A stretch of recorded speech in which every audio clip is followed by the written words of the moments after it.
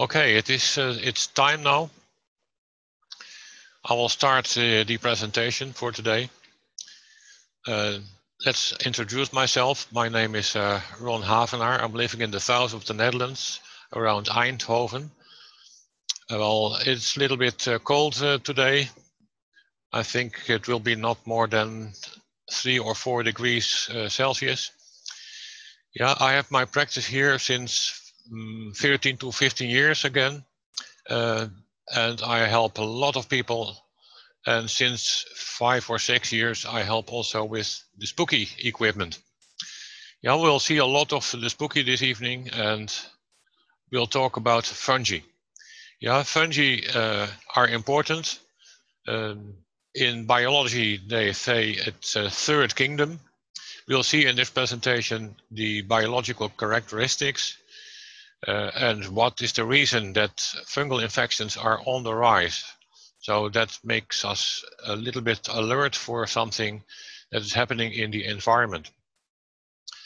Well, it's not all only bad things about fungi, it's also uh, an element of the environment that is very positive, it's good, but there are some fungi that are pathological. Okay, uh, someone raised his hand. Is there a question?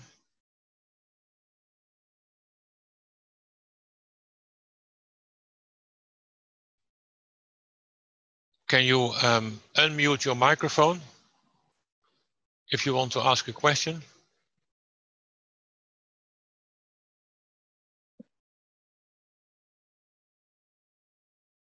Okay, no, Let, maybe later at the end of the session. Yeah, uh, what I will show you is a little bit of information uh, in a movie. It's a three minute movie and that will introduce to you the uh, introduction of the fungi. Let's take a look. It's only a short film.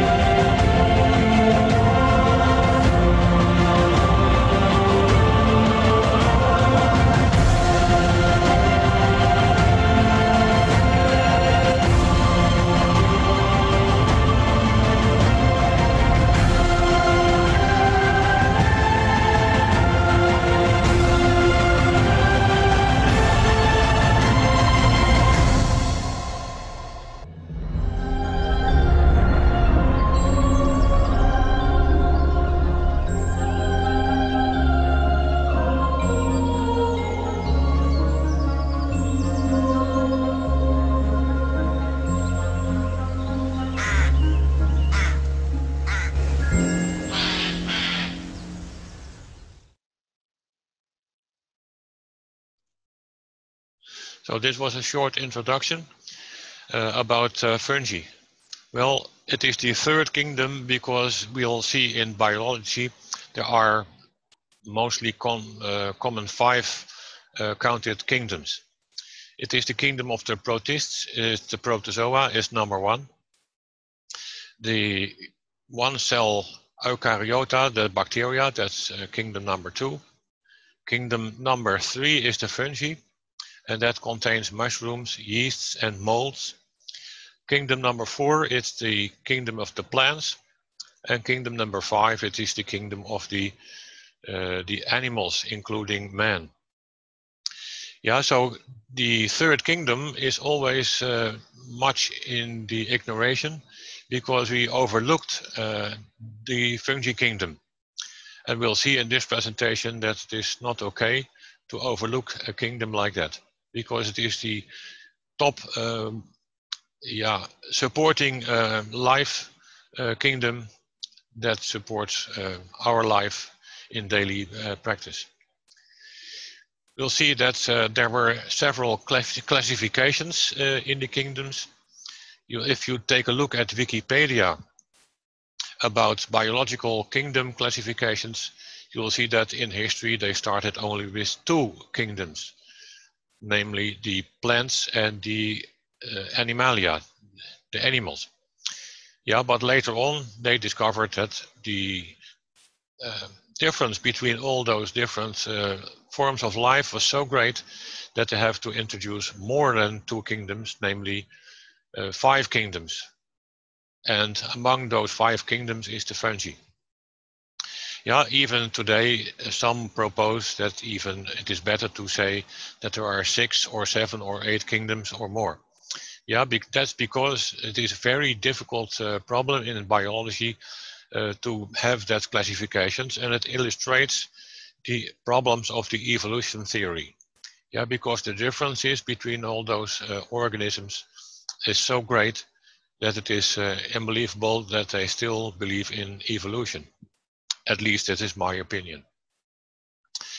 Uh, fungi are important uh, because the fungi was the, the pioneer organism that um, made the earth in the very young history uh, fertile. Yeah, because fungi, they drill into the rocks. They have some, some roots, I mean, we call that roots mycelia. And the, the pressure inside the mycelia is so large that it is the pressure of maybe 10 to 20 times the pressure in uh, car tires. So it could be easily 20 to 30 uh, atmosphere inside that mycelia. And if the mycelia grow into the pores of the rocks, they can easily break the rocks. And for that uh, property, the fungi were very important in the beginning of the history of the earth to make fertile soil. And later on, when the fertile soil, soil was uh, working and even plants um, were growing on the crust of the earth, uh, well, the fungi had another uh, very advantage symbiosis because they feed the plants. So the plants, they can uh, feed on, let's say, minerals and let's say um, oxygen uh, they use from the air, the nitrogen from, from the earth. Yeah, but the fungi, they feed themselves from plants and they harvest uh, maybe the proteins. Yeah, and they convert that to uh, fertile elements that plants can, can use. We'll see that uh, plants will also get getting the help of the protection against diseases, but even uh, the fungi can eat uh, the trees. Yeah, but uh, no, be, not before they, they fall down after the, the death of the trees. It's a good thing that the fungi help us to digest that, that dead trees. Otherwise, the earth would uh, be covered in, in dead uh, trees. So it will hold also the soil together. And it is uh, a very important uh, function of the fungi to break down organic matter.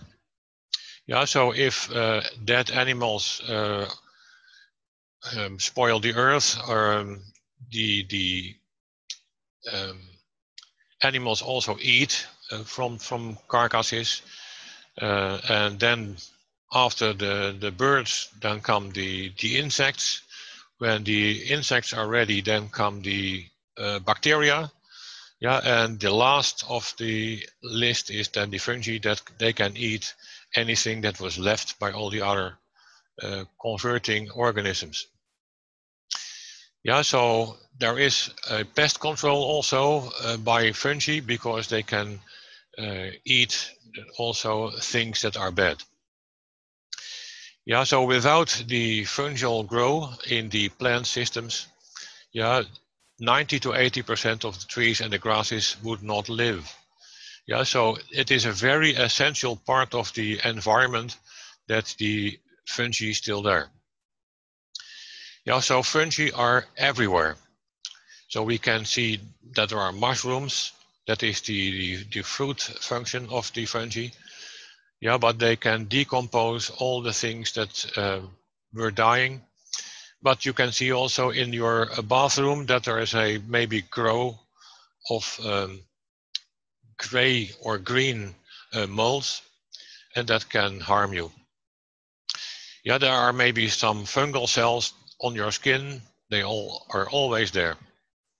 Between the toes or maybe on your backside. Well, they estimate that there are 3.8 million of uh, species of fungi.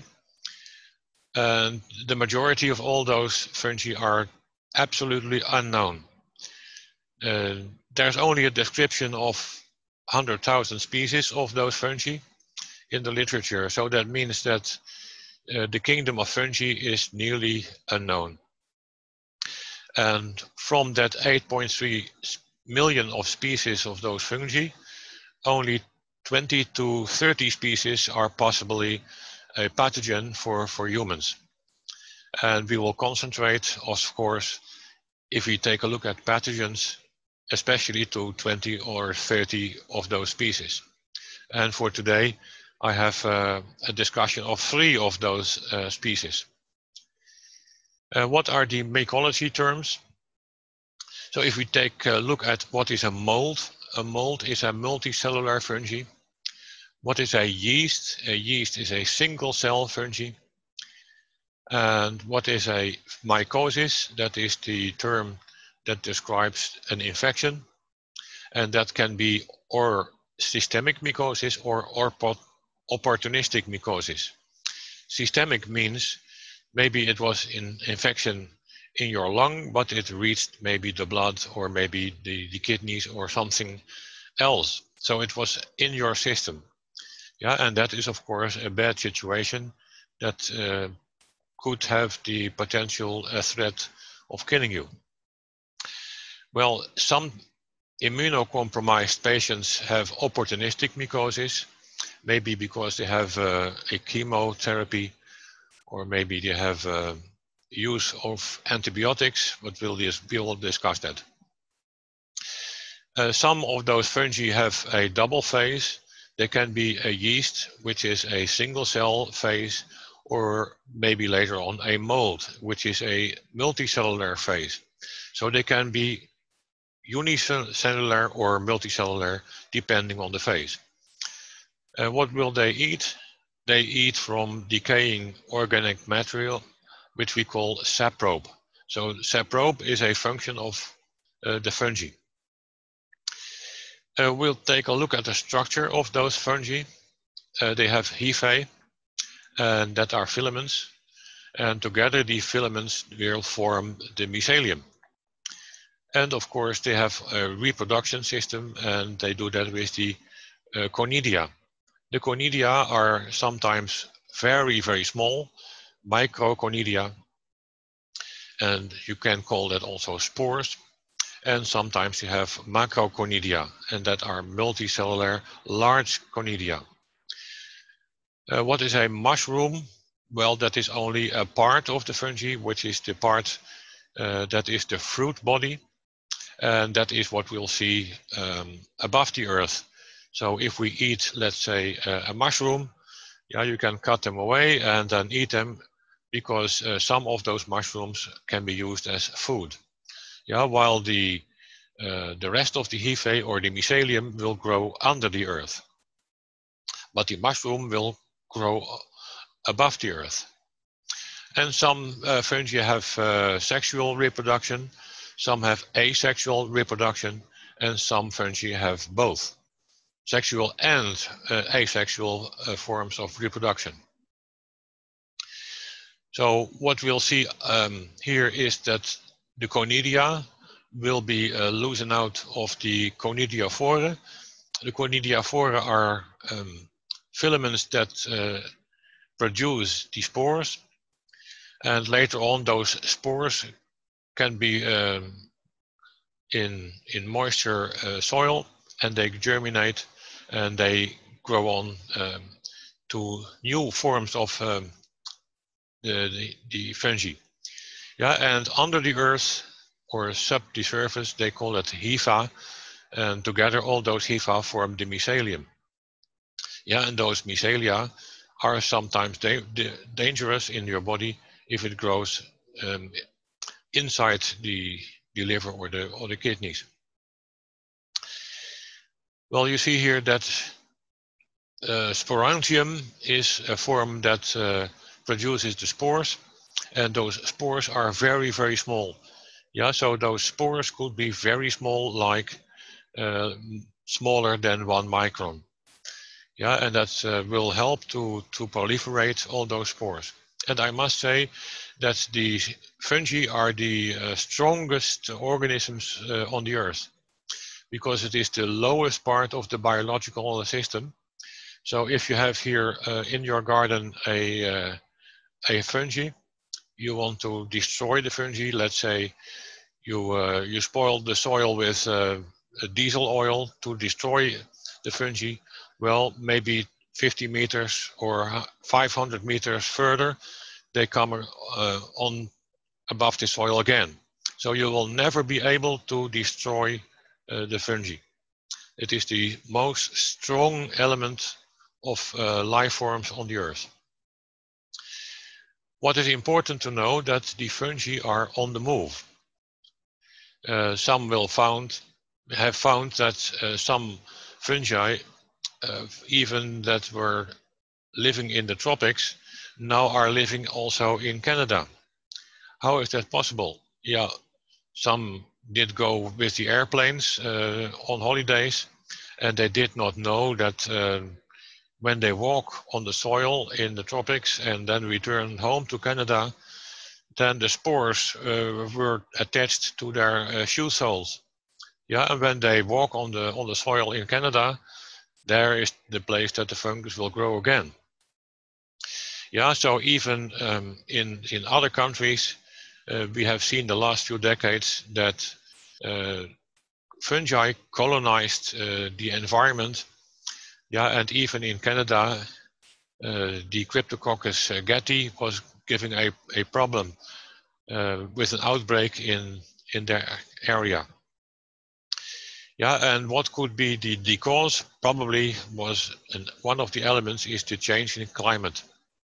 Yeah, so the global warming is one of the elements uh, that will give a fungi the opportunity to grow on uh, locations where they did not grow before. So some fungi um, will proliferate. Only the extreme heat or the extreme cold that can kill uh, the fungi. Yeah, but as today the, the, the climates in some countries are some moderate uh, cli climates, so that is the temperature range that the fungi can live. So the fungal uh, grow is shifting polewards uh, at seven and a half kilometers per year. That means if we wait long enough, even on the North Pole or the South Pole, that the fungi will, will come. Uh, and it is important to know that uh, fungi um, destroy two-thirds of all crop uh, on the yearly uh, harvest. So that's important to know. Uh, so a lot of things are happening in the environment. And you see here in this picture that even um, in the, the mice, the corn, uh, some fungi will destroy um, the harvest. Also on um, animals, they say here that in the last 30 years, a fungus did kill more hundred than 200 different species of frogs. Yeah, and that's important that even uh, frogs were destroyed from the environment just because the climate uh, gave uh, opportunity to other fungi that were not living in that area before. So things are changing on the earth very quickly today. Uh, one of the other uh, causes that maybe also human will have problems with fungi. Um, maybe the uh, CDC, which is American uh, company that invests a lot of effort to produce um, information for uh, pathogens. It is a very important website in the US, comparable with the uh, RIVM in the Netherlands. And they say that uh, the chemical industry is also uh, giving them opportunities for for fungi. Why is that? Because uh, the fungi are also um, becoming resistant against uh, all those chemicals. And that is important to know uh, that even when we have some diseases already with viruses like uh, the human immunovirus for AIDS, that some immune systems will weaker, will be weaker, and then fungi have more opportunity. Maybe the chemotherapy, immunosuppressive therapy, overuse of antibiotics, and fungicides in agriculture. All those chemicals, um, they had some help in suppressing the influence of fungi, but maybe uh, the negative effect is that the fungi uh, became stronger, like the resistance that did grow among the bacteria because of an overuse of uh, antibiotics. So an overuse of fungicides in the agriculture is also not helping us on the long term. So that means that we have to, re to redo our studies. Uh, a new interest is coming up on the topic of uh, fungi. Yeah, so it is important to know that it started since 1960 that there was a new interest in the study of, uh, of fungi. Yeah, and that is very important because the fungi, as we saw that uh, in the presentation, uh, fungi will help to sustain life, yeah, instead of destroying life. But of course, it is a, a two-side effect. We can be killed by a fungi and we can live because of a fungi. So fungi are important uh, also for us. Uh, it will help us to make bread. It will help us to make wine, beer and cheese. Uh, we can eat um, some mushroom types like truffle or morel and even truffle are very uh, expensive because they will be seen as a delicacy.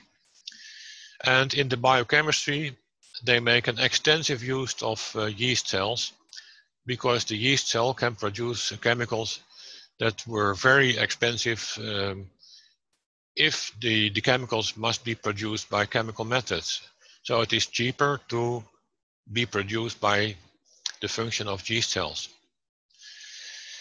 Yeah, uh, is it a real threat to our health? Uh, yes, sometimes that happens. Um, well, you see here that 1.5 million people uh, will be killed every year worldwide.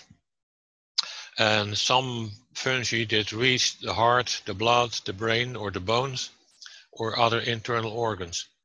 That means that fungi can be really a threat to your body. Yeah, and especially because some fungi will be found in parts of the world where they were relatively new. Yeah, and even in hospital patients, uh, life-threatening infections can become difficult to treat. I have to stop my telephone, sorry.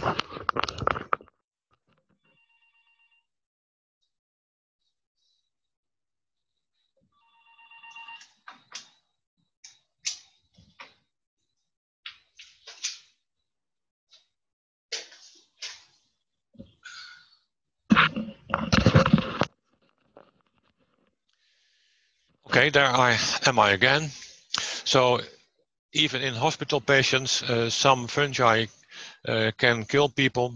Yeah, because uh, some were misdiagnosed uh, and they did not think about fungi. Uh, well, fungi diseases are on the rise, and of course, if you take a look at this uh, website, nci.com, you will find that even scientists and physicians are worrying about the exploration of uh, of the fungi uh, in our environment, and they can easily uh, become a problem for our health. In this picture, you'll see a, a, picture of the Candida which is one of the important uh, uh, diseases maybe on the saliva. Uh, the importance of uh, fungi is uh, making us um, sometimes a problem. Sometimes we'll use it for uh, specific products. So we can make, let's say, an important, is somebody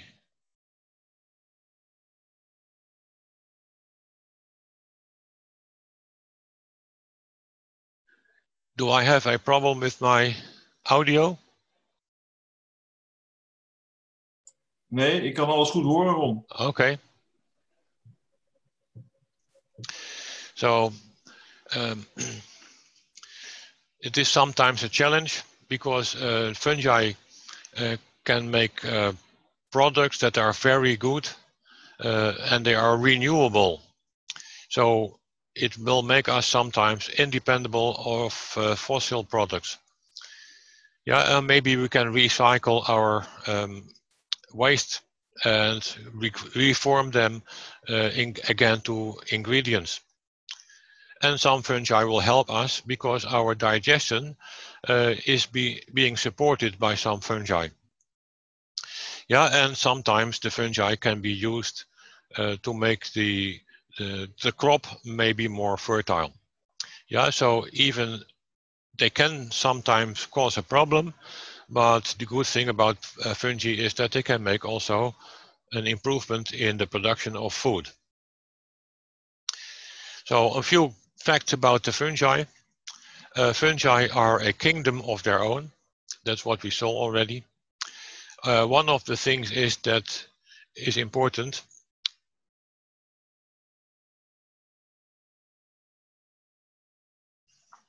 uh, that they have uh, in their cell wall. What is chitine? Chitine is a, a kind of uh, resisting strong material that is the same as the skeletons of the um, insects. Yeah, so they are being able to break down plastics. Uh, they make um, wine, beer, cheeses. Yeah, and even some species can be consumed as foods let's say the champignon or maybe the truffles. And even uh, sometimes they can use uh, fungi in uh, the industry for producing synthetic rubbers, plastic uh, parts, etc. Uh, some fungi are also hallucinogenic, uh, which means that sometimes they produce chemicals that have the function of a drug. Yeah, and also fungi can make our waste into bioethanol, which is maybe then a good thing uh, for producing um, like our fuel. Yeah, so they can be replacing um, very good things in the um, plastic industry or for building materials. One of the uh, fungi is penicillium. Penicillium is uh, something, a, a, fungi that lives in the environment, but it can be used for uh, food and drug production, but is also sometimes a dangerous uh, form of fungi. Yeah, so one of the things that we uh, know is that um, penicilline was a toxin uh, that was um, harvested by penicillium.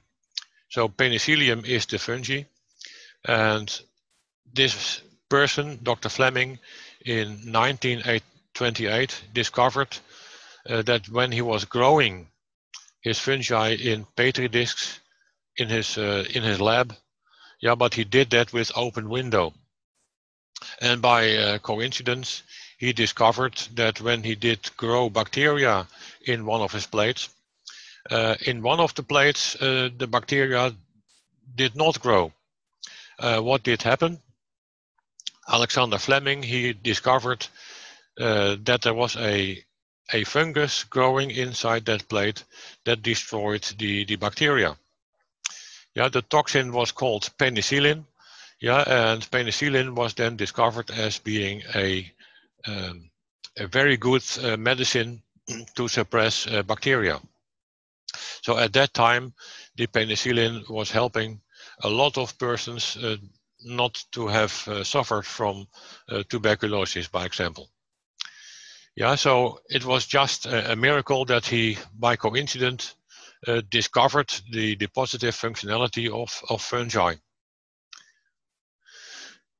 Yeah, but there are also uh, threats uh, in our body that can have uh, potential bad uh, systemic uh, diseases. It could be uh, in our blood. Let's say one of them is mucor. mucor is very important.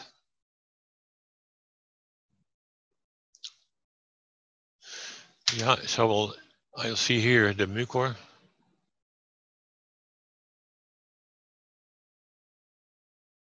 This is the mucor.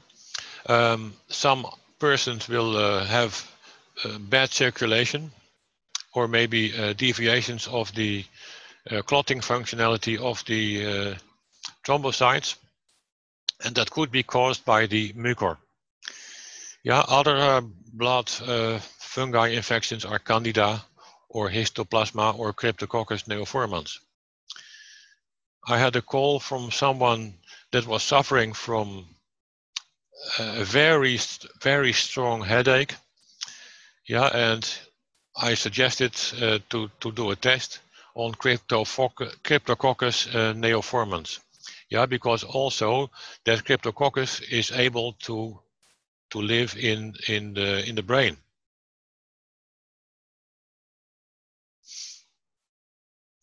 So, yeah, uh, maybe there is infection in the skin and then also probably on, on the hairs, maybe on the nails.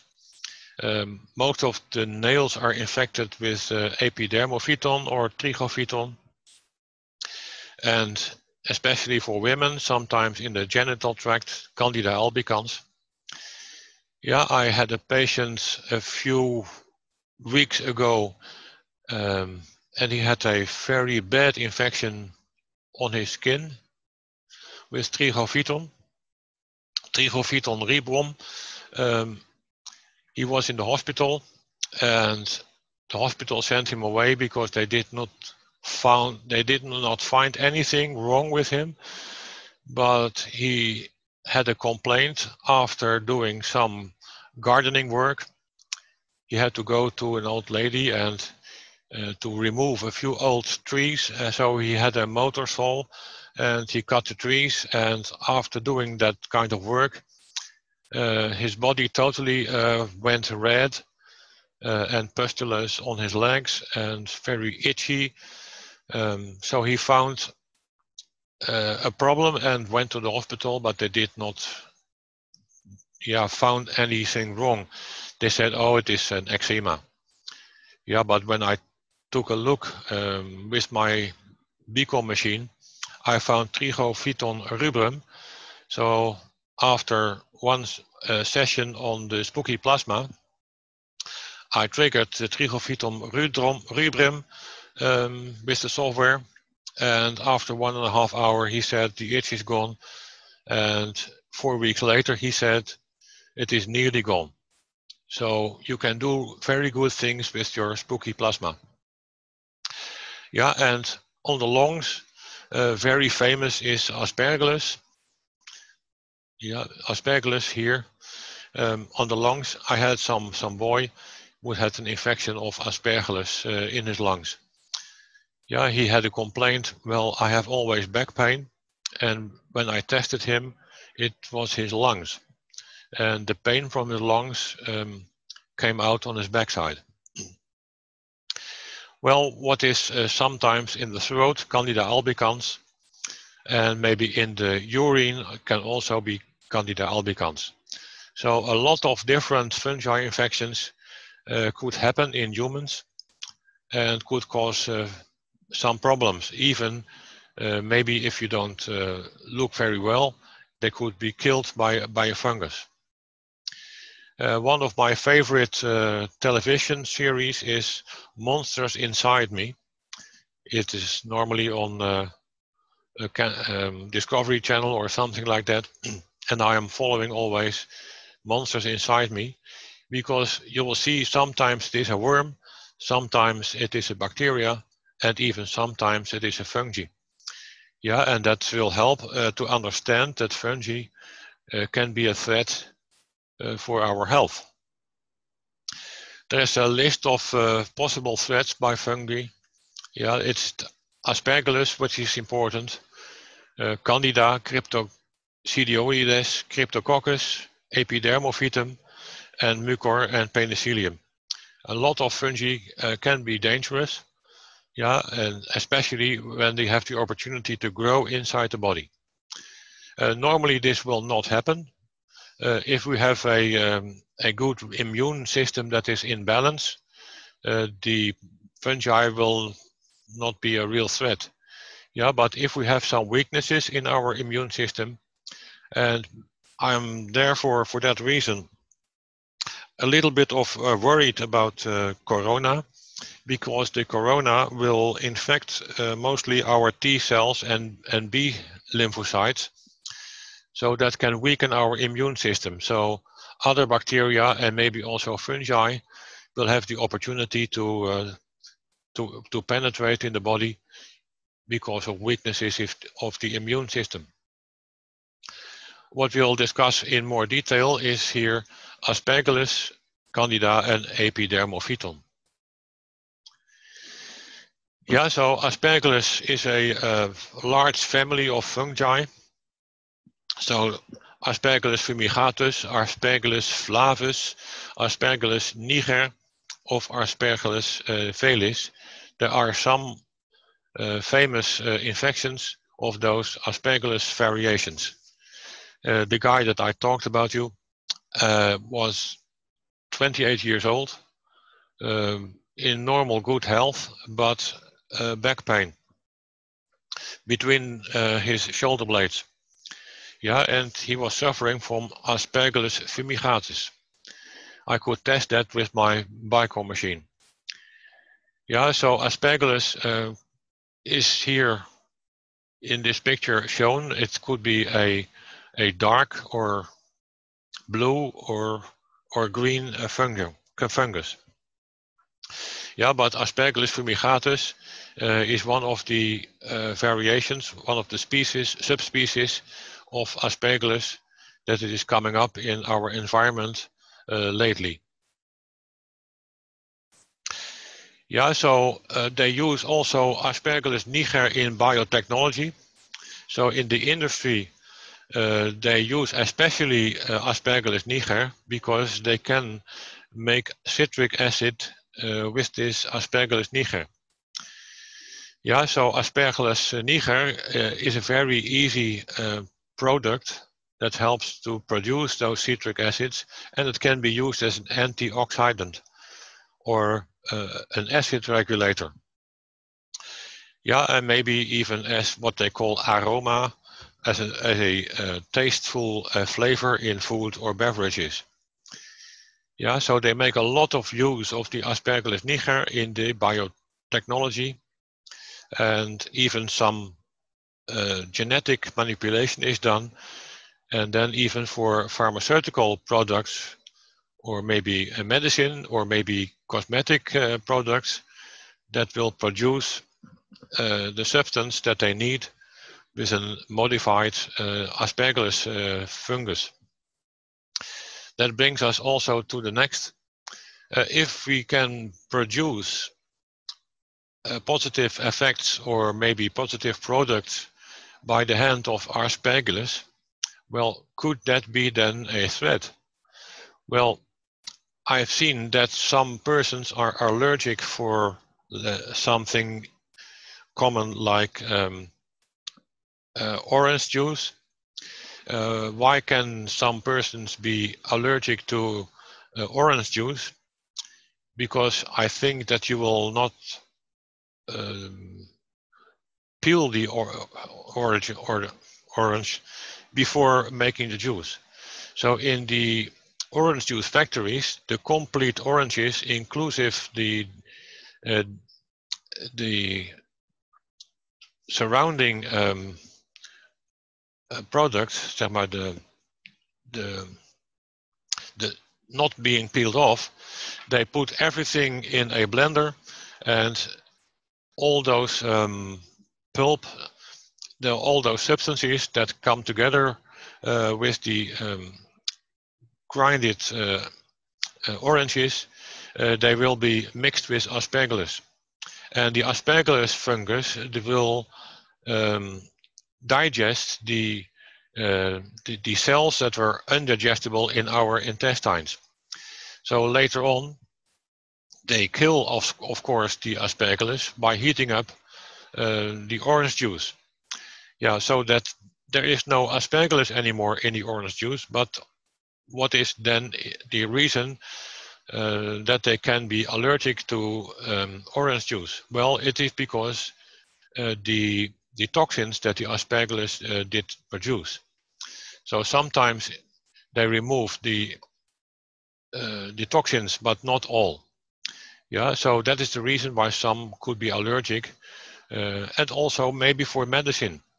So if, let's say, a, a product of medication is produced by a fungus, uh, the side effects become of the, pro the, the toxic uh, products that the, the fungus did produce. Yeah, so the thing that we are looking for is a medicine, but some side effects could exist because there are a lot of um, uh, halfway products produced by a fungus that are the, the cause of the side effects.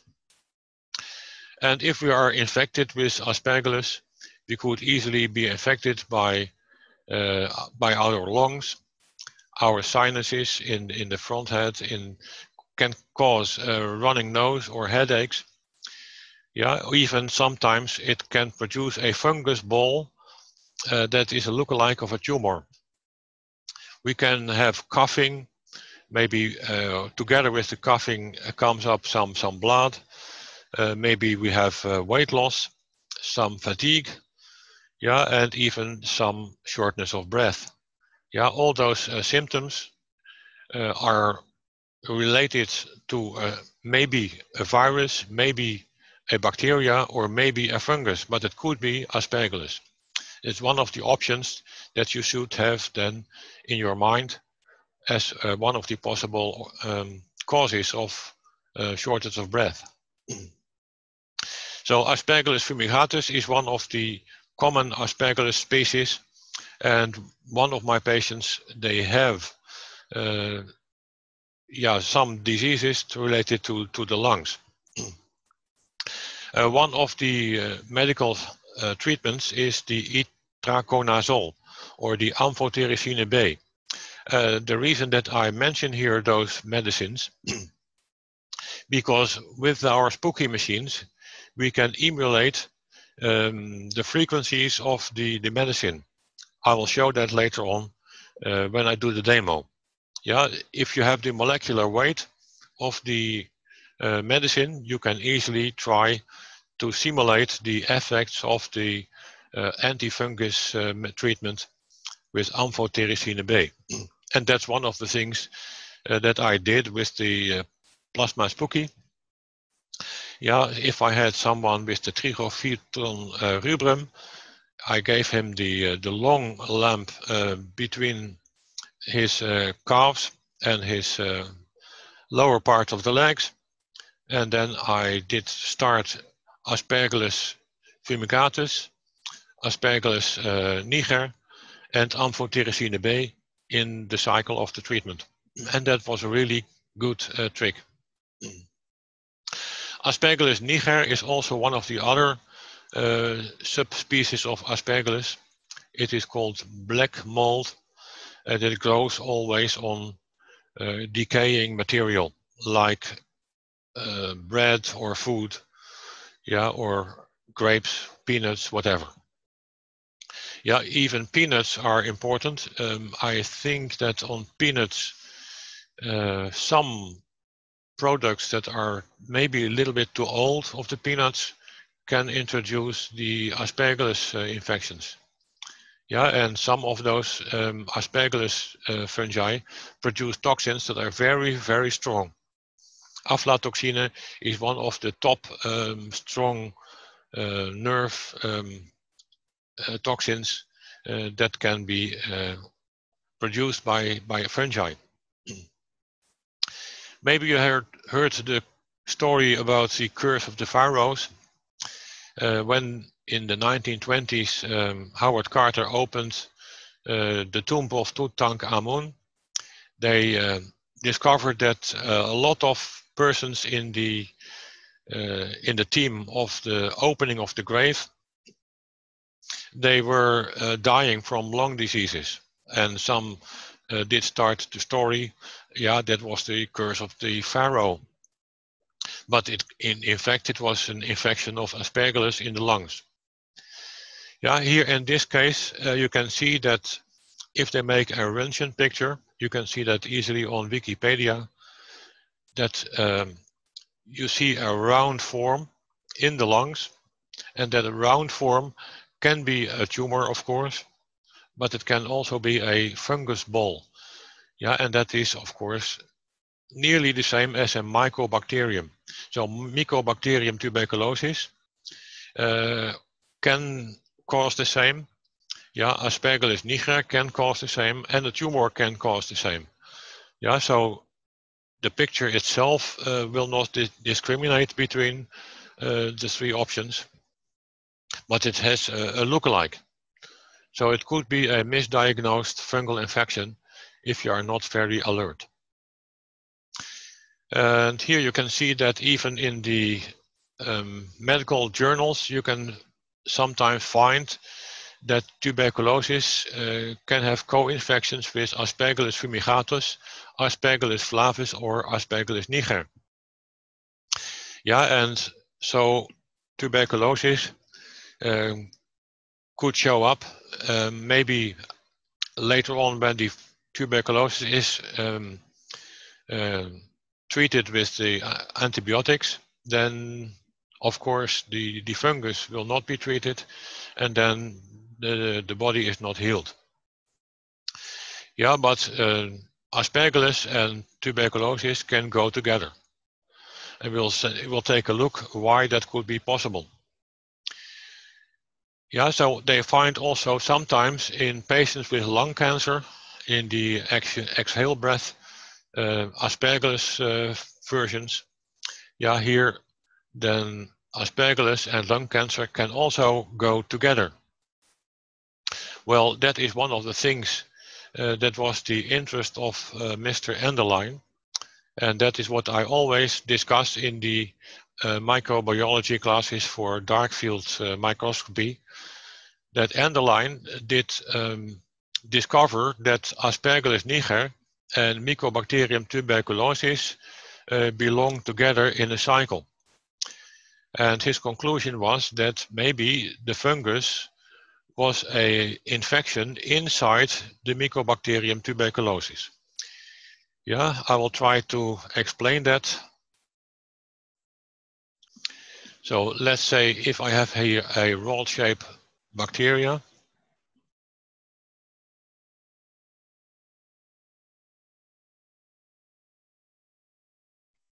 and then the the bacteria is infected. So this is the rod shape bacteria, which is the Mycobacterium tuberculosis. Yeah, but inside yeah, can be the spores of Aspergillus uh, niger. Um, well, they said uh, in history, and that was interesting because if you have a funnel,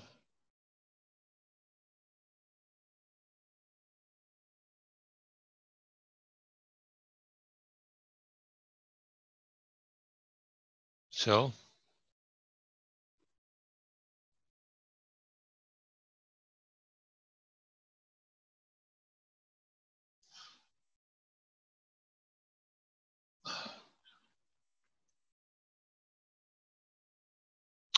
Well, so there is a filter.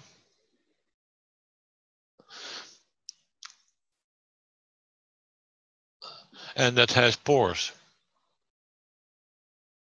Let's say the pores are having a size of uh, 0.2 micrometer. Well, if you have here a filtered solution, yeah, then the bacteria Uh, well, the size of bacteria, bacteria tuberculosis, uh, that could be easily like um, five, five micron. So the microbacteria, mycobacterium will not pass the filter because the, the mycobacterium tuberculosis is too large to pass the filter. Yeah, and then what passes the filter here at this side is the filterable particle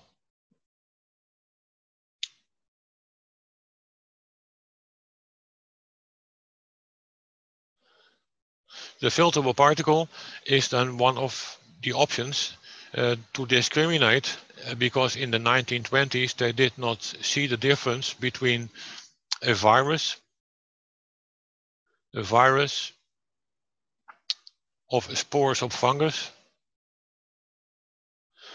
of maybe the filterable particles of bacteria. Yeah, all those three could be filterable particles. And that is what I discussed also in the uh, dark field microscopy course. Uh, filterable particles uh, could be a fungus, a virus, or maybe bacteria. So in those days, it was nearly impossible to discriminate between a virus, a spore, or a bacteria because they had nothing as a clue about DNA. Yeah, so the filterable particles could be living inside the mycobacterium. And if the bacteria is dead, then the filterable particle uh, will evade from the, the dead uh, bacteria and then have another infection. So if you kill the infection of the bacteria, yeah, you start to infect with a with a fungus. Yeah, and that is sometimes also the reason that cancer will develop, because in 1920 Otto Warburg also said that uh, cancer is something like a fungus, because the cancer cells will have the uh, sugar cycle only. Yeah, they are only able to digest sugars, and that is the relation between cancer and, and fungi. Yeah, so the the metabolism of cancer cells and, and fungi have a lookalike. Yeah, and maybe he was right. And then Aspergillus niger, uh, Mycobacterium tuberculosis, and lung cancer uh, could be uh, the effects of the same phenomena. Here you can see candidiasis. Well, this is not a picture of, of my tongue, but I had the same tongue after when I had a problem with a dentist. He had to drill a, a tooth and when I wake up uh, the next morning, I had a very swollen cheek. So I ran to the, uh, the dentist and I said to him, well, this swollen cheek may, must be treated probably with an antibiotic. So he gave me doxycycline, and there was a a, um, a series of uh, five pills for five days. So I have to swallow doxycycline for five days, and after five days, I said to myself, "Oh, that was very gone, very good, because the infection was absolutely gone after two days." Uh, it did help uh, grateful, and I thought to myself, I don't have any side effects. But when I got out of bed on the sixth day, uh, I had the idea that everything tasted uh, salty. Even sugar tasted salty. And I had electric uh, shocks on my tongue. And then I opened my mouth before the mirror and I saw a swollen tongue uh, covered with a, a white layer. And then I thought to myself, well, I think I must test myself on Candida, Candida albicans. And it was really true. Yeah, so Candida albicans is one of the uh, fungal infections uh, caused by the Candida. And it can live in the mouth, in the throat, sometimes for ladies in the vagina, yeah, or if they have a, a relationship, it could be in fact also uh, to, to the husband. and sometimes, in the majority of uh, adults, even in the normal intestinal tract, uh, you can test to, in 40 to 50, 60% of the cases that the intestinal tract is also uh, infected with candida, but without any problem. So candida itself is not always causing a lot of trouble, yeah, but it can harm uh, some some persons because if the immune system is too weak, candida albicans can also invade other organs and then cause um, a lot of problems there. So especially antibiotics like doxycycline is um, one of the side effects that can have the destroying of the uh, bacterial flora in your mouth. And if the bacterial flora in your mouth is gone, then the candida can, can have an opportunity. It's the same for chemotherapy. So sometimes candida can cause um, uh, be caused by uh, chemo. So dentist problems, uh, even sometimes uh, I had someone that says, do you know anything about um, fungus in my mouth? How to, to heal it? I asked him, do you eat apples with the skin? Yes, he said. Yes, but I wash them. Yeah, I said to him, well, uh, take a look, um, do a test, and if you eat apples, just peel them before eating it. Uh, two weeks later, he said, my, my white spots in the mouth are absolutely gone. So sometimes the, the fruits are sprayed with pesticides and that gives uh, Candida the opportunity because it destroys sometimes the flora, the bacterial flora in the mouth. and I use also uh, nystatin uh, clotrimazole or fluconazole if I do any treatment in uh, bioresonance. that will really help to suppress uh, the candida.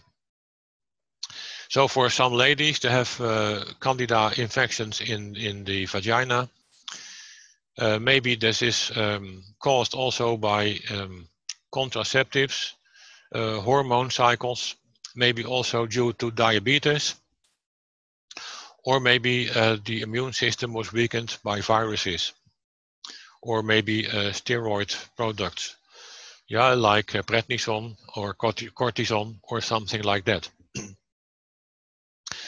Yeah, so uh, some ladies have uh, candida and they have an abnormal uh, discharge from the vagina. And maybe it goes together with pain for intercourse or urinating. Yeah, um, dermatophyton. Um, dermatophyton is a skin infection. Yeah, so dermatophyton can be Microsporum canis or Trichophyton rubrum. So I discussed the, the person for Trichophyton rubrum because he has a very, very bad skin infection. And the doctor did say, oh, it's only eczema. Yeah, but I could test it uh, that it was trichophyton infect. Yeah, uh, luckily it is a superficial infection. Yeah, and it was treated very easily. Even sometime uh, on the skin. Uh, dermatophyton could live on uh, skin or on nails. Yeah, um, some persons will call it a ringworm, while it is not really a worm. It is a, a skin mycosis. Yeah, folliculitis, folliculitis is an infection of the uh, the roots of the hair, and even sometimes it is caused uh, by um, medications. Yeah, you can treat also skin mycosis with terbinafine or itraconazole or ketoconazole. Um, and that will help to overcome skin infections with uh, fungi. Uh, what is very interesting, you take a look on um, YouTube and you can try um, hydrogen peroxide 3% and if you drip that on the nails it will cause uh, the dead uh, nail cells uh, to go off like uh, like a foamy uh, development. It will not hurt, although I must say that you must uh, protect your skin against the peroxide. but I did not feel anything. I had no pain. Yeah, so the only thing that what was happening that the the skin bed was absolutely clean. Yeah, so the dead um, cells from the nail, even in the nail bed, were, were destroyed. So you wash it away after uh, 10 minutes. And then the, the nail bed is absolutely clean. And then you uh, put a Vicks VapoRub, which is a, um, a cream uh, with a menthol oil. And that will help to protect us against uh, reinfection. So Vicks VapoRub will help uh, in between the periods that you try the peroxide. Yeah, so if you do uh, hydrogen peroxide once a week, and in between, you can use the Vicks VapoRub to protect to protect yourself from reinfection. Uh, what will help to uh, to do is testing before treatment. Yeah, tomorrow um, another um, spooky um, uh, session will will start tomorrow, and he will talk about uh, the spooky feedback uh, scans, which is important, of course, because the feedback scans will help us uh, to do a, a run of um, effective frequencies. What I'll do is, uh, in my practice, I'll do a test uh, to, with my Bicom machine and with electroacupuncture. So I have a testing method. I test on acupuncture points and I can see the effect of a, um, a signal. So if I put a um, fungus signal in, in the BICOM, yeah, then I can see the effect on the acupuncture points. Maybe on the lung, maybe on the intestine, or maybe on the urine bladder points, which are related to the um, genital uh, area as well. Or what I can do is uh, do a test with my Hunter machine from SSCH, the Hunter Metapathia. and what's also very interesting is the live blood analysis with my dark field microscopy. Yeah, what can I do with treatment? Uh, treatment I will do with Spooky Plasma or Spooky Scalar, or you can run the feedback scan um, so the results of the feedback scan, so you can do a feedback scan every week. Uh, you will see the changes over time. And then the frequencies that were effective last week are no longer effective uh, in the new week.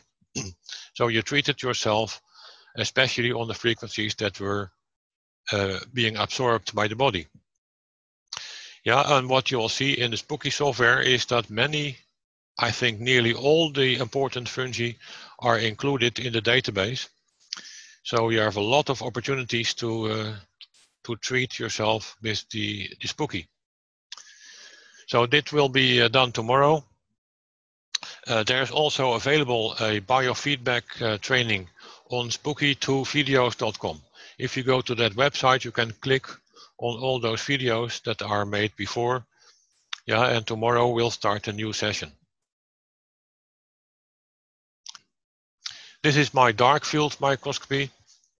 You can see here in this um, slide that there was someone coming to me with um, a diagnosis from the hospital.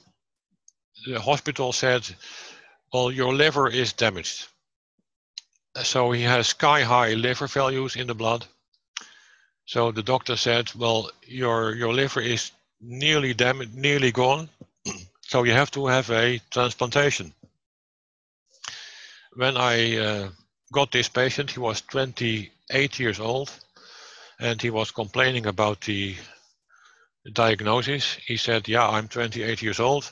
If I have a transplant um, in this year, I will swallow um, anti um,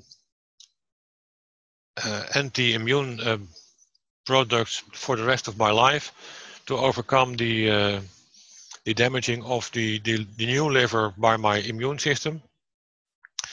Can you do a, a test for me? Yes. I first checked his blood on the microscope, and you can see here the snow in the picture is the the um, the, the bile in the blood. Uh, you can see that there is a lot of fat in the blood. so the hospital was right. These liver scale values were sky high. But when I tested with electroacupuncture, um, I tested the liver positive for nearly normal. But I said to him, Your gallbladder is having the problem. So my advice is go to another hospital and do a second opinion. The other second uh, opinion said, Okay, your liver is okay, but your gallbladder is having a problem. Your gallbladder is 100% blocked. So uh, if the, the the gallbladder is blocked, then uh, the liver must uh, do pressure on, on that bile and put it in the blood vessels. And his treatment was dottering of the gallbladder duct. So after one day of hospitalization, he was back home again and was very happy that still his liver was okay until now. And that was four or five years ago. So that was the help of the dark field microscopy. So what you can do with Spooky is do Spooky treatment with the Spooky uh, remote. And I must say that I'm very impressed uh, with the remote. The remote is really working. Uh, I thought to myself when I saw the the logo of uh, Spooky 2 with the ghost-like picture, I thought to myself, well, or it is a children's toy, or it is uh, something um, spiritistic. But when I took a look at the explanation, I saw that uh, uh, the word spooky was related to a discussion of Einstein about the quantum mechanics. so nothing uh, is really uh, to do with uh, ghosts or or um, spiritual spirituality. And I must say that uh, the majority of um, uh, spooky generators I run this this one with old laptops. And some people say to me, "Hey, Ron, I have an old laptop. Uh, it's so so slow to me. I cannot use it for for normal Windows production.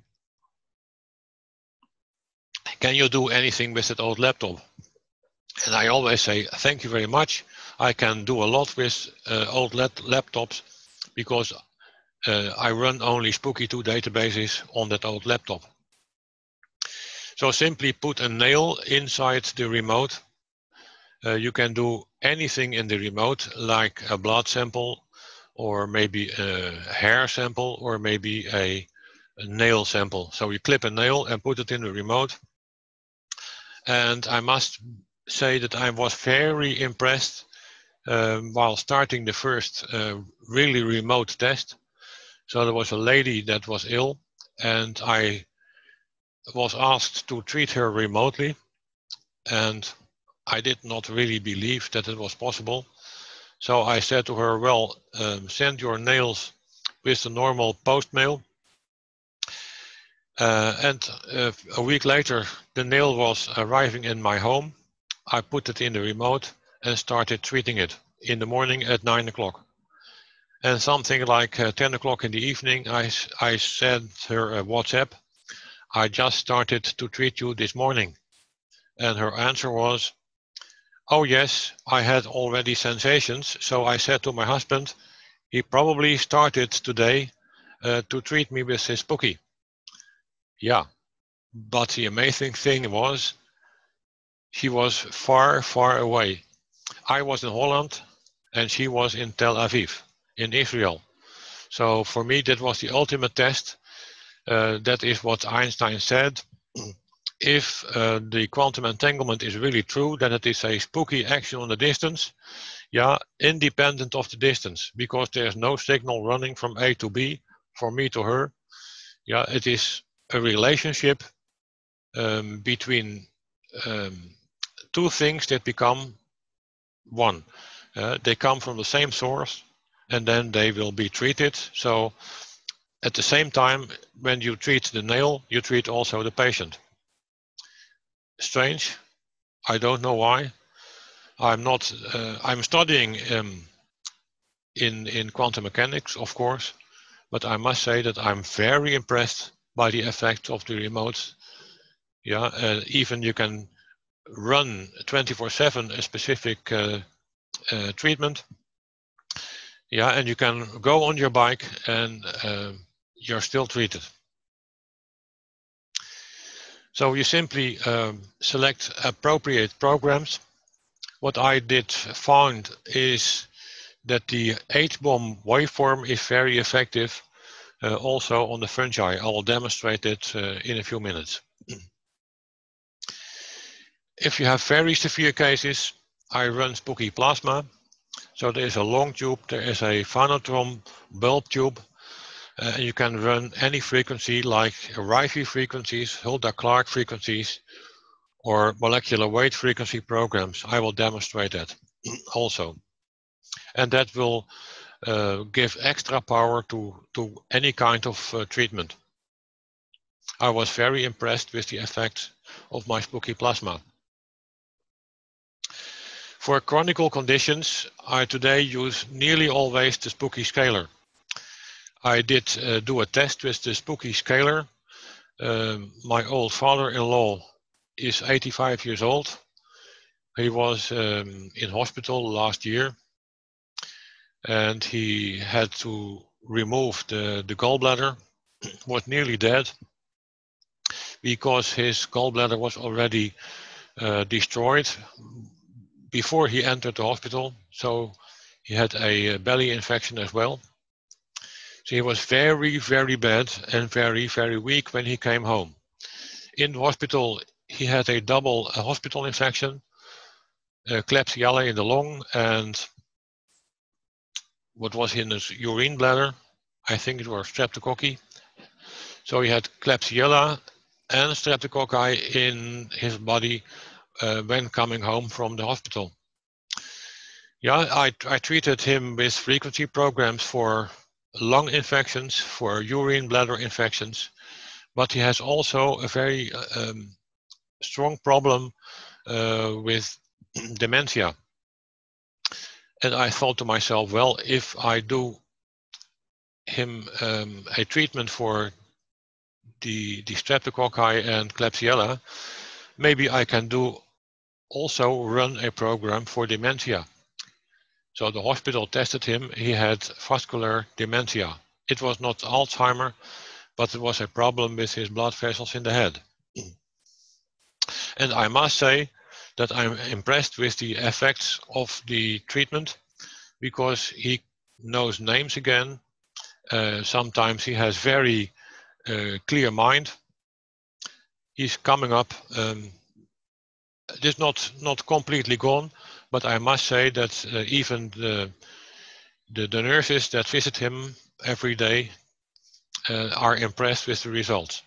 So I put him uh, on the couch, uh, let him sit between the antennas, and then I run the stimulation with the spooky scalar. What I always uh, do also, if I treat a patient, I put a glass of water on the uh, transmitter, especially when he has digestion prob problems uh, and I make him drink the water afterwards. Yeah, you can uh, sit then between the antennas, run a program, yeah, and the same program uh, together with the uh, information from the patient is uploaded on the water. And then he can drink the water afterwards. Yeah, or maybe a very, very small um, bottle of alcohol. So some even bring a very small bottle of, uh, of uh, vodka. You can put the bo small uh, bottle of vodka uh, on the transmitter. And when they go home, they, they take away with them uh, that program. And the rest of the vodka I drink myself without the program. I have to offer you a discount at Spooky Mall.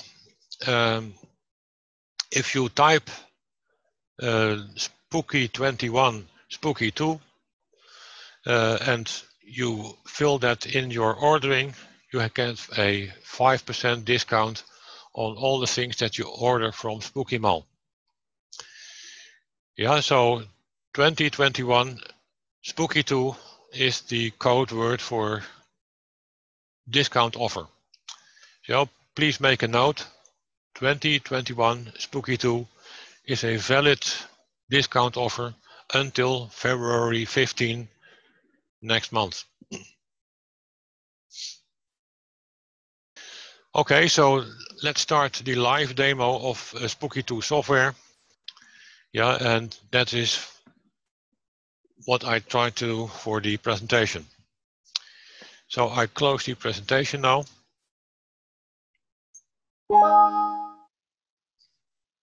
And I step over to the demonstration.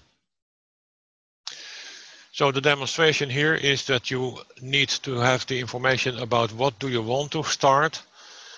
Uh, let's say if you want to have uh, a functional uh, treatment against uh, candida or something like that, you can do it on the remote, you can do it on the Spooky Plasma or the Spooky Scalar.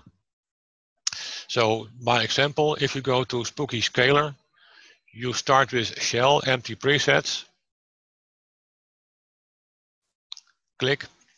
Then you start with scaler, click.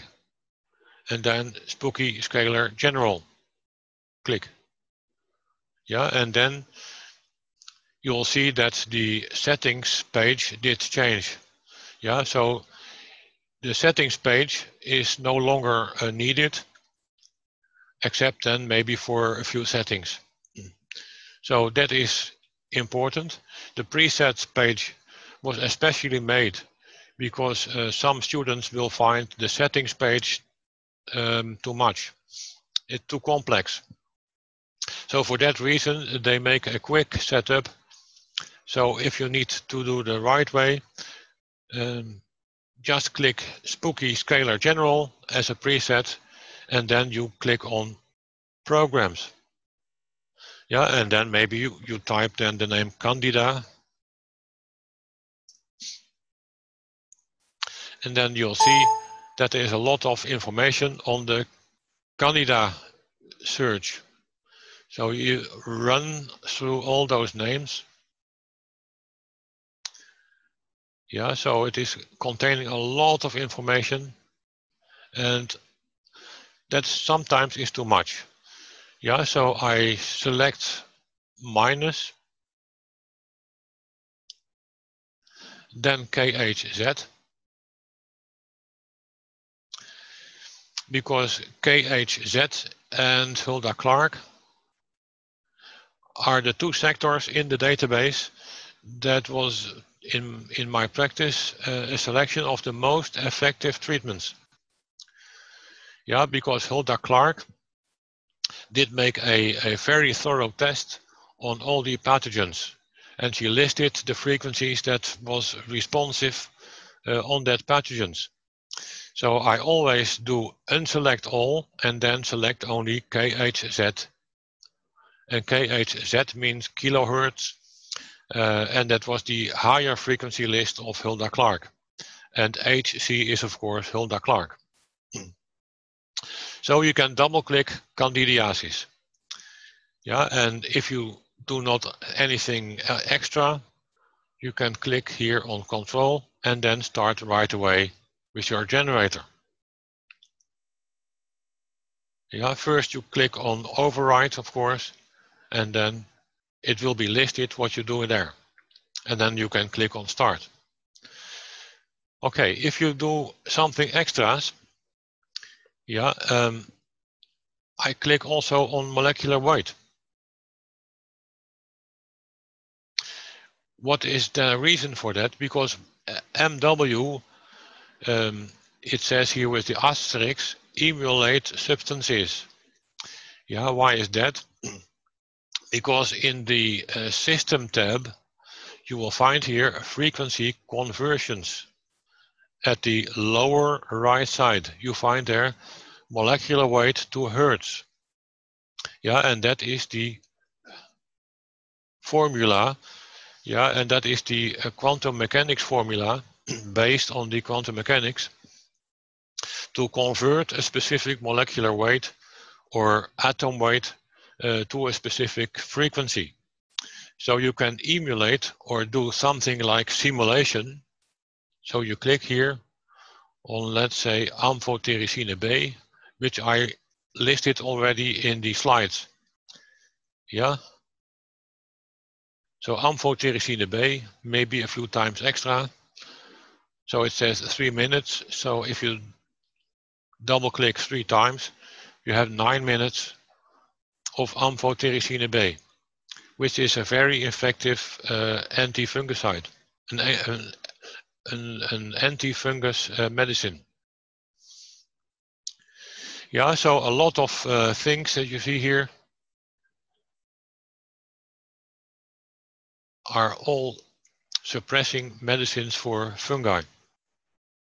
So if you take a look uh, on a specific fungus here, you can include here in the settings, in the control, simply click override.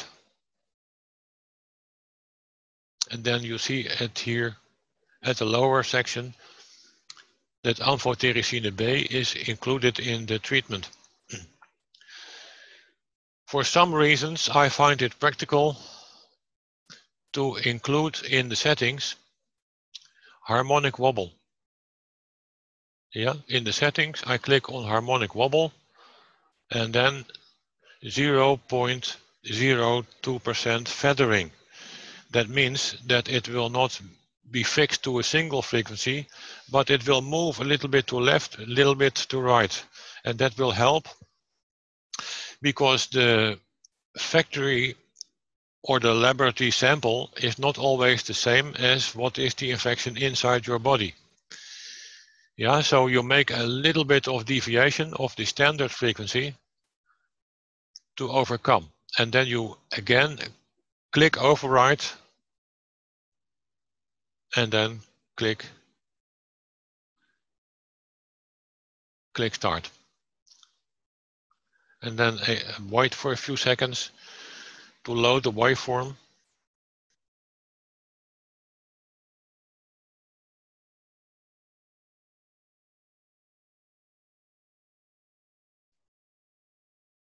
Yep, and then he clicked, uh, I could here click on on my generator. And you can here see the frequency. It will run on a specific frequency, but it will deviate the frequency a little bit to left, a little bit to right and that will overcome uh, a few problems. Uh, one of the things is that the body could be getting tired from a single frequency that runs for three minutes. Uh, that's also the same on my BICOM machine. If I do treatment with the BICOM bioresonance machine, I do also doing a wobble. Why is that? Because switching on, switching off, or run a frequency pattern with a not a single frequency that will improve the effectiveness inside the body. So the body will better absorb frequencies if it is not only a single frequency. And the other reason is that candidiasis is a pathogen, but the pathogen itself uh, could be a little bit different from the standard frequency uh, that was made in the list of Hilda Clark. So if you click on stop, click on settings and click on uh, feathering wobble is none. Then you will see the effect. And now I click on override, re-click on the generator, then click on start again. Then you will see that the 150 Hertz is a steady single frequency for three minutes. And that is also the same for the molecular weight. Yeah, so if you run molecular weight frequencies, yeah, the molecular weight frequencies are important to simulate frequencies in the frequency list and that will have nearly the same effect as to swallow uh, the amphotericine B. I've seen important effects uh, on patients to improve the health. so if you are not satisfied because it is not only candidiasis, so you can type here all the frequency lists by adding all the other sectors of the database. And then you can see that the list is much, much longer. For me, that is sometimes positive, but sometimes negative because it looks like a needle in a haystack. Yeah, so the list is very, very long if you open all the database sections. Yeah, so if you have a specific frequency, let's say for a specific genus of a species, like um, Trigophyton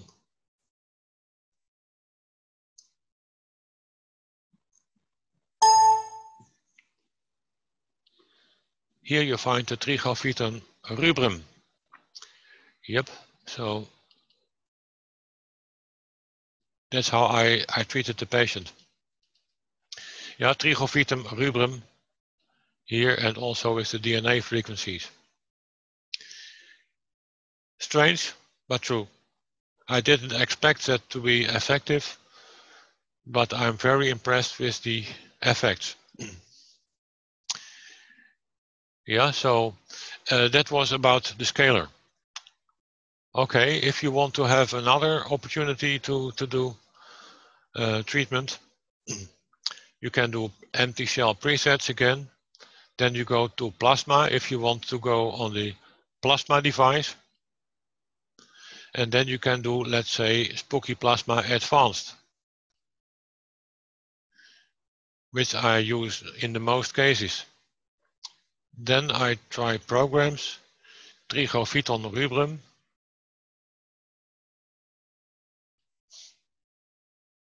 Yep.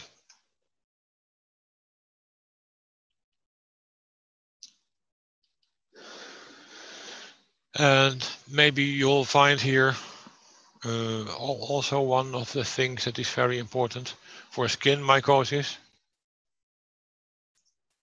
you find a long list of mycosis infections.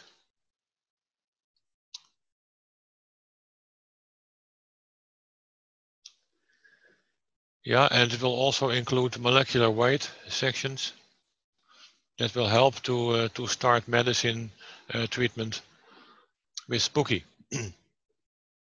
yeah, or, or maybe you want to start with the remote and shell empty presets then remote.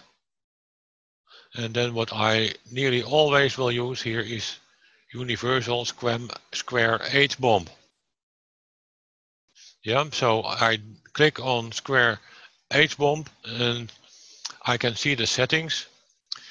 Uh, you see here at the right side, the settings look like the letter H. That's why they gave them the name H-bomb. And it will contain here a frequency set of 16. So the multiplication of the frequency is times 16. And then I see here 1, 2, 3, 4, 5, 6, 7, 8 peaks. Yeah, so it was effective only 50% of the time. So it is multiplied by 16 and divided by 2 because it is 50% off that means uh, that is a frequency of 8.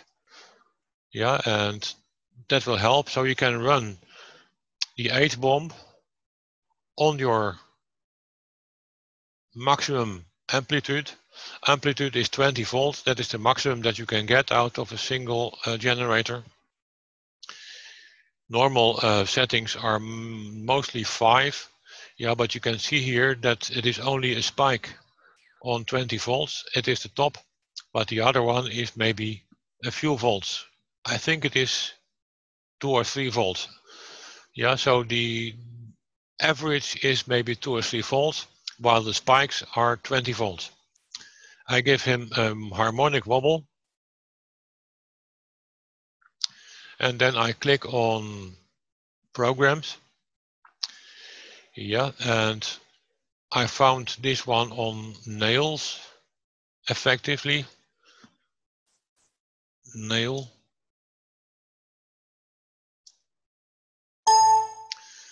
Yep, and there I found here Echinoparyphium.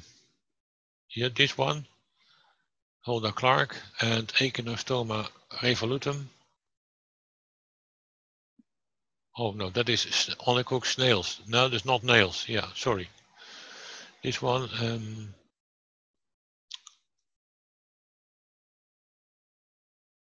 so, nageltrichophyton which is nagel is nail, nail fungus. And this one, Trichophyton rubrum is effective. And, and this one,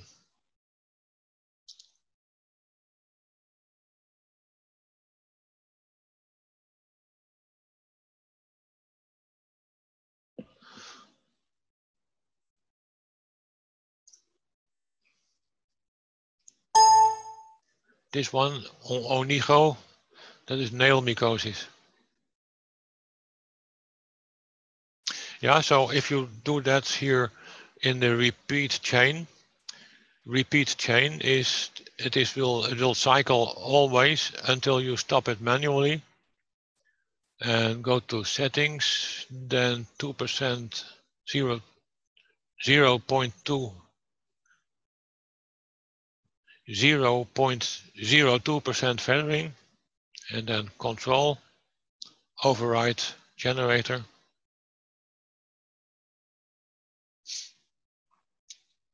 And then click start. You see it is a cycle of one and a half hours. Here at the upper line, estimated total runtime is one hour 27 minutes. Okay, so I must say that I was impressed. So I did clip a nail from my toe that was infected with the, the fungus itself.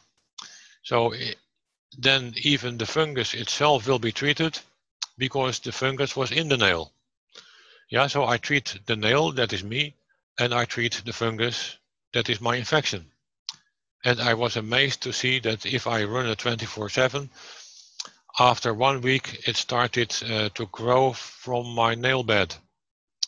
Yeah, so it was very effective, although I was not in the neighborhood of the of the generator. Okay, so far this is my live demonstration.